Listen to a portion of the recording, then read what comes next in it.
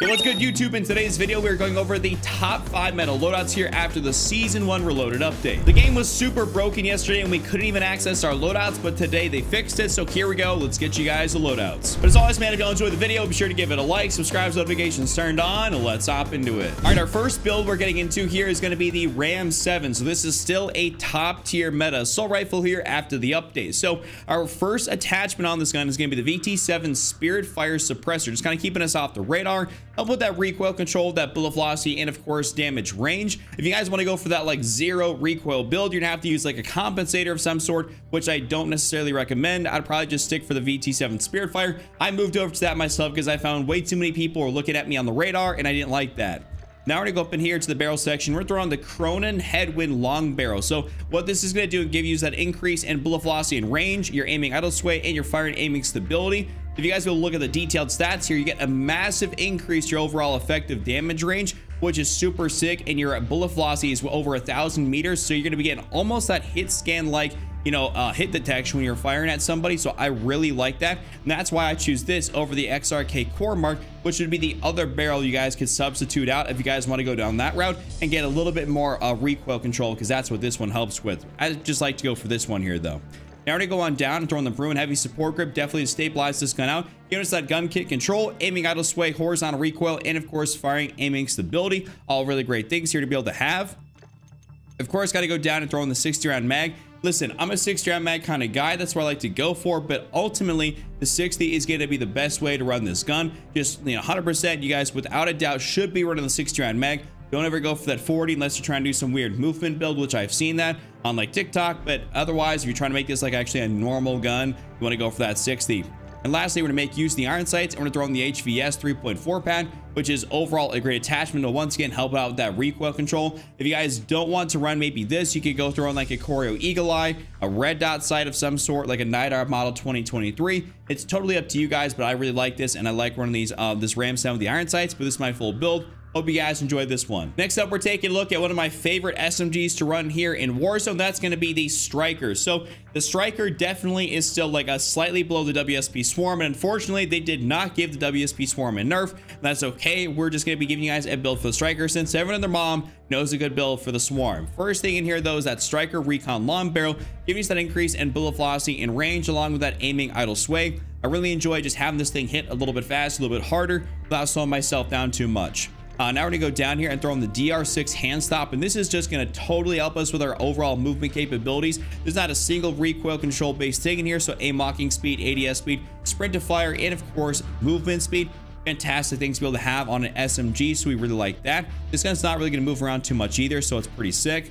Uh, we're gonna go throw on down here the 0.45 auto high grain rounds, and so this is gonna give you those no enemy skulls, but what we really care about is once again that increase in bullet velocity and damage range you guys are going to be able to see your effective damage range gets pushed out 15% basically almost at 20 meter mark so you're going to be pretty effective even outside the range where the swarm would be effective. So you have a little bit more range and of course bullet velocity and your minimum effective damage range is increased which is super awesome. So you're going to be downing people probably a little bit quicker than you would have thought otherwise. So that's why i really like having this on there.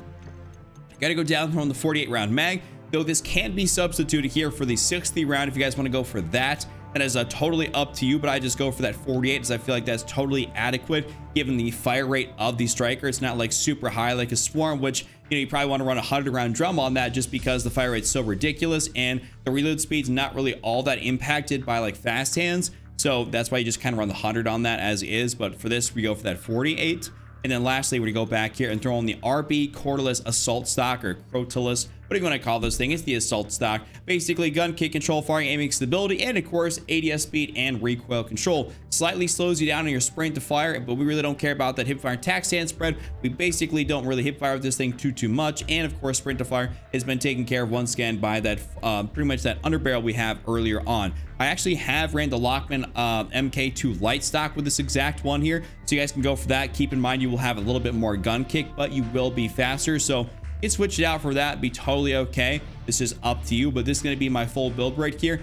absolute banger definitely want to try this one out now we got a bit of a new addition to the meta the holger 556 got a pretty nice buff here within the update which is super sick i've been excited to be able to have some newer guns get into this thing so you guys should definitely try this one out First attachment here is that VT7 Spirit Fire Suppressor, keeping us off the radar, and once again helping that recoil control, bullet velocity, and damage range. Great stuff here to be able to have on an attachment. It just makes this gun more effective at those longer distances, as this is your primary assault rifle, your primary long-range weapon.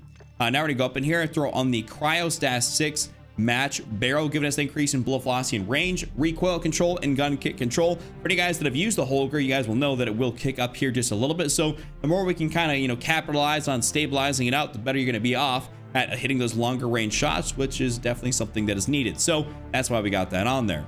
Now to go on down, throw on the Bruen Heavy Support Grip. This is a tried and true attachment that we run on so many of our different guns, um, assault rifles, sometimes even the Swarm, you know, SMGs, um, you know, LMGs. We run this on a variety of things just because it's so good for all those different guns and those different applications.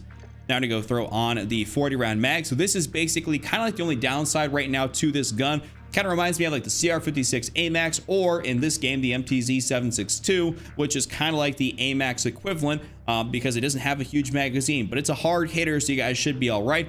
It also does remind me kind of the Kastov 762, one of those guns that was widely used, but didn't have a super large magazine, but we still made great use of it. So that's just okay. Lastly, we're gonna go throw on the Corio Eagle Eye 2.5X, but keep in mind, the sight is going to be a little bit more personal preference, not as much uh, the rest of the attachments. This is one of those things where you can kind of alter it up. If you want to go for that Corio Eagle Eye, perfectly fine. If you want to go throw on an AMOP V4, an SC Recharge, totally okay. Or even just for a red dot set like a Nydar Model 2023. I've done, it with, done that with a variety of my longer range guns, and it works out great, especially when you're playing Resurgence. But if you're going like Big Map BR, probably just keep on that Corio Eagle Eye. But this is my full build right here. I want you guys to try this one out. It's nice to be able to try something new here after the update. All right, so now we're taking a look here at the WSP9, aka the Uzi, a super hard-hitting SMG, and this is a great build here for it. So the first thing on here is the WSP Optic Long Barrel, giving us an increase in bullet velocity, aiming, idle sway, recoil control, and of course damage range making this thing just overall more effective. Like I said, this is going to be a super hard hitting build for this gun while you're still going to maintain great mobility. After that, we're going to go down throwing the XRK Edge BW-4 hand stop is basically bolstering our overall mobility because that barrel is not really helping us too, too much.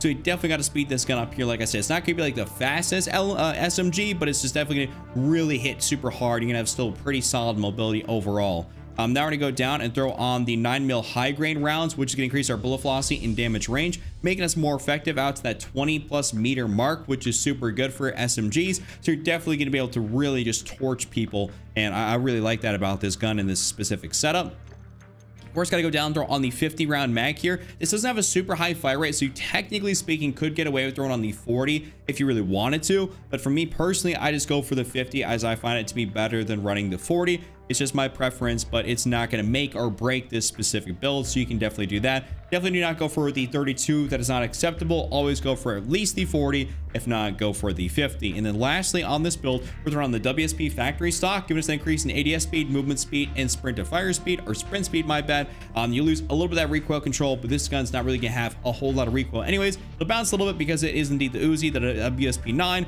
but overall, it's going to be a fantastic SMG to be able to run. This is my full build right here. Definitely, definitely try this one out. And lastly, I want to show you guys an LMG, and that's going to be the TAQ Eradicator, and I, I wish I could throw in the new TAQ Evolver and the HRM or HMR9, whatever it's called, but I haven't done enough testing with those guns to be able to fully get you guys setups and recommend them for Warzone, so I can't do that yet. I'll have that, of course, in future videos, but for today, we're using the TAQ um, Eradicator, and this thing is really solid. So VT7 Spirit Fire Suppressor. This is the large version because, of course, this is an LMG. By the way, this thing caught a slight bit of a nerf, but it's not noticeable at all. You guys should just be using this, especially with all the other guns and the buffs and nerfs. Definitely should be using this. Um, after that, we're to go for the Conqueror-70 Long Barrel, giving us an increase in aiming, idle sway, bullet velocity, and range. Definitely want y'all to try this out. Um, now we're gonna go down, throwing that Bruen Heavy support grip. I mean, this just stabilized the gun out here quite substantially. So we absolutely love that. And it's just really good. Like I said, we run this on a variety of our different guns. You just, it just never like fails us, genuinely. Skipping over the magazine, going on back here, the Takavert core stock. This can help us that gun kit control, firing aiming stability, and of course recoil control, making you just easier to be able to hit those shots. This thing has a slight bit of recoil because it fires those first two shots faster. It's super straight and all of a sudden wants to pick up a little bit, but then it's very easy to be able to control. This will make that a lot less of a jump. It'll just really minimize that. So that's why we really like it. And lastly, we're gonna go throw on the FSS combat grip down here. Once again, stabilizing the gun out. So this is one of those guns, by the way, that I've been running pre-update. I've been running post-update. It has been my go-to primary, you know, gun just to have on there because I really like that it's also a magazine. It's not like it's belt fed. So you don't have to take the belt off, throw it on there, you know, cock it back in you don't got to do any of that fun jazz. So the reload animation is significantly quicker. So even if you don't got fast hands, you pick this up off ground, you know, your guns. So if you die, you really don't have to worry about that. But this is my full build. That's been my top five. You guys enjoyed, be sure to give it a like, subscribe, check out this other video on screen. I'll see you guys all tomorrow.